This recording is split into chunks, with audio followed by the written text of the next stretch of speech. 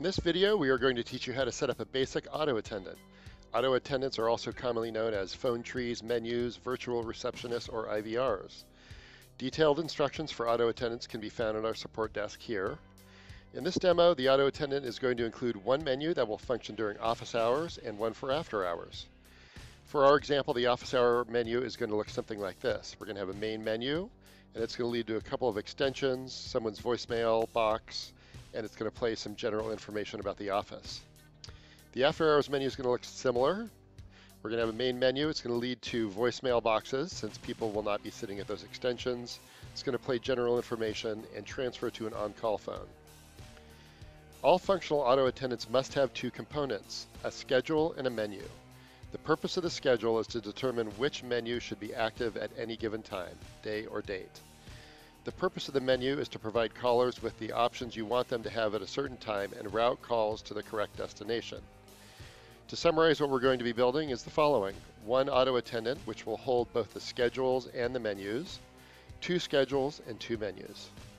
The reason we need two different menus is because in the examples, we have different functionality. One for office hours and a different one for after hours. One quick note before we get started, in order for you to access the settings required to build a menu, you must be an admin user. If you're not an admin user, contact your administrator or RingRx support for assistance. The first step is to actually create a greeting. Uh, record a greeting and you will upload it to the menu. Guidelines for creating greetings can be found in our support documents here. The next step is to create the auto attendant. So go to Settings, Auto Attendant, and Add New Auto Attendant. The first step here is to assign a name to this auto attendant, and we're going to name it something obvious like main auto attendant. The next step is to assign an extension number. Auto attendants are given extension numbers because this is how the system actually routes calls to them. In this case, we're going to assign a number well outside of the range used for phone extensions, just for basic organization. We're going to pick an extension 2000. Once saved, you'll see your new auto attendant. The next step is to add a menu. From the auto attendant screen, select Menus, then Add New Menu. Assign an easy to understand name. Select the greeting dropdown and select the greeting you want to play for this menu. Now we're going to leave all other options on this page alone as they are more advanced settings and not required for a basic auto attendant. Now click Save. Now that your menu is created, we can add the functions in the menu. Functions are called actions. Select the menu, select New Action. Digits are the buttons that callers will be pressing on the menu. In our example, the first one should be 1, and the action is going to be Transfer to Extension, and the extension is going to be Appointment. The next two actions are going to be similar. And the fourth action is going to be play a greeting. All actions are saved as they are added, so when you're done, just close the menu.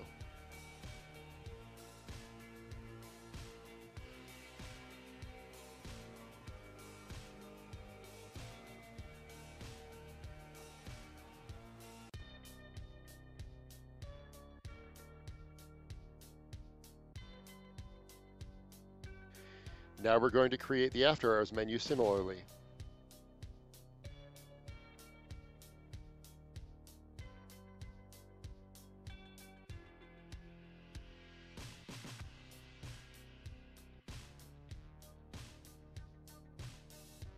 Two menus created.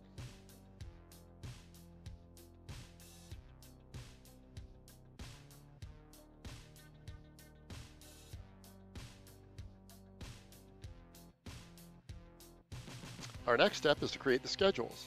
Schedules tell your auto attendant which menu will play at which time. Let's start with the schedule for office hours. From auto attendants, we're going to select the main office auto attendant, then select new schedule. We'll give it a name like main office hours schedule. Select the correct menu to play during the schedule, main office hours menu. In this case, we're going to build our office hours, which is when we want the main menu to play. So we're going to select Monday, Tuesday, Wednesday, Thursday, and Friday with a start time of 9 a.m. and an end time of 1700 or you could even do 5 p.m. We're not going to worry about call handling options or advanced schedule options as these are not required for this example. Click Save. So now this schedule will cause the menu to play during office hours that we created. But what about after, after hours? Well, we could do this by entering a schedule for after hours, which would be 5 p.m. to 9 a.m. Monday through Friday, plus all day Saturday and Sunday. But because these schedules overlap different dates, doing this way would be a bit complex, and we would have to actually build three schedules to accommodate all after hours time periods. There's actually a better way to do it. We're going to create a catch-all schedule that basically says if the main office hours schedule is not active, always follow this other schedule. So here's what we do. From auto attendant, select your main office auto attendant, then select new schedule, give it a name like main after Hour schedule, select the correct menu to play during the schedule, and click save. That's all we have to do. I'm going to explain something that will help you understand why this works. From auto attendant, select the main auto attendant. You'll see both schedules in there. They are listed one on top of the other. The way our auto attendants work is that the system starts looking at the top of the schedules and starts searching downward for the first schedule that matches the current date and time. Once it finds a match, it picks that schedule and executes it. A match simply just means that whatever time it is today matches the time that is in that schedule. The system simply keeps going down through the schedules until it finds one that matches. Now back to our example. If the time is anything outside of office hours, like 9 p.m. at night or a weekend, the system is going to skip past the main office hours schedule and look to the next schedule to see if it matches. Now here's the important part about the after hours schedule. It's always going to match. If we leave all schedule parameters unfilled, it means the schedule will always be active. So just to recap, if a call comes in during office hours, the office hours schedule takes over and the system will never even look at the after hours schedule. But if a call comes in at any time other than office hours, the after hours schedule will always be active. So now we will have a fully functioning auto attendant with two schedules and two menus. We only have one last thing to do, and that is to make a way for callers to get to the auto attendant. Direct, to direct callers to this auto attendant from your main number, go to Settings, Phone Numbers, find your main number, and select Edit.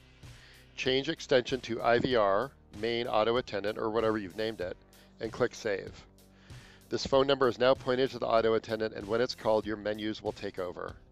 The last thing we recommend is to always test your auto attendants when you create a new one or when you make any changes.